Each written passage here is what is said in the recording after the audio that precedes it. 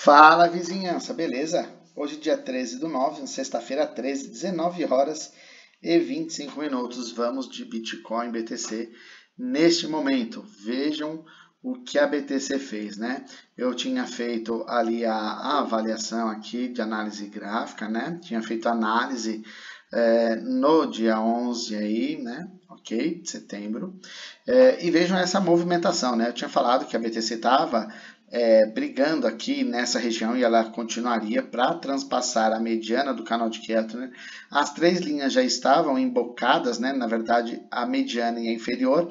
Essa linha superior ela estava tinha dado uma arrefecida na descida e ia se preparar para a subida exatamente, porque a inferior e a mediana já estavam curvadas. Nuvem de Shimoku estava lateralizada, movimentação interessante.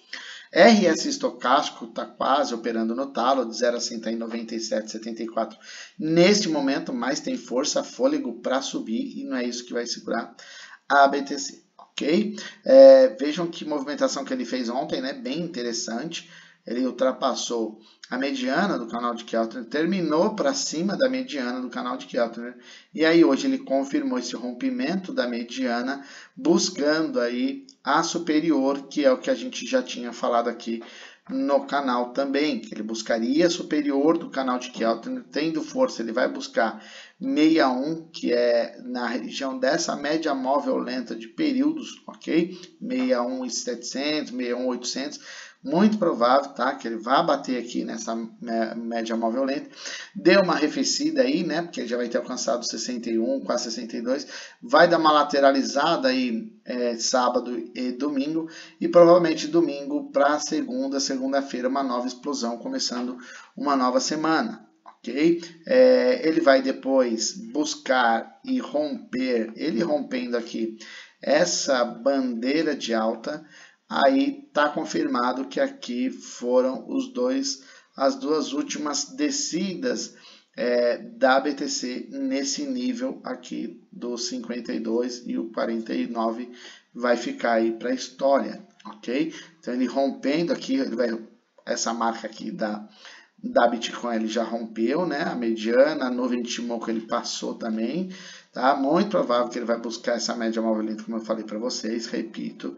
Depois ele vai tentar transpassar, vai ter que superar essa bandeira da alta. Quando ele superar e ficar transitando por cima, fora dessa bandeira e transitando aqui por cima, é justamente essa confluência aqui, ó, esse canal que a gente desenhou, tá? Porque ele tinha batido aqui várias vezes e aí foi o que segurou o preço da BTC, porque a galera ficava vendendo aqui o lucro, né?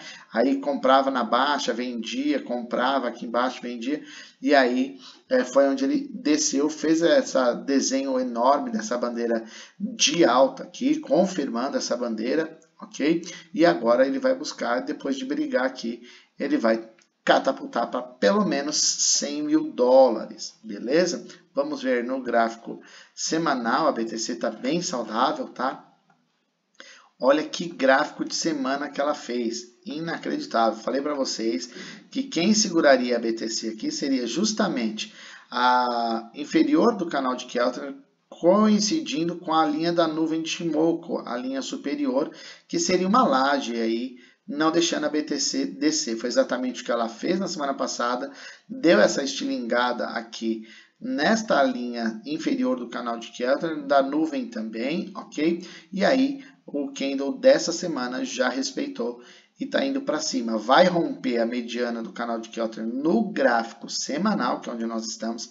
A linha da nuvem, a nuvem de Moco está bem lateralizada, ok? A linha vermelha já ficou flex para cima aqui também. RS estocástico no semanal da BTC de 0 a 100 está em 12, então tem muito fôlego para subir até 100, ok?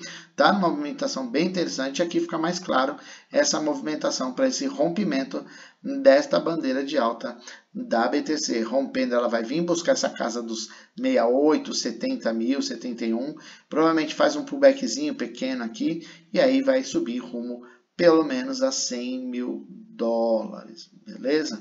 Fica aqui esse registro, se inscreve no canal, deixe seu like, ative o sininho e fala aí, você está embarcado na BTC? Forte abraço, não é recomendação. Valeu!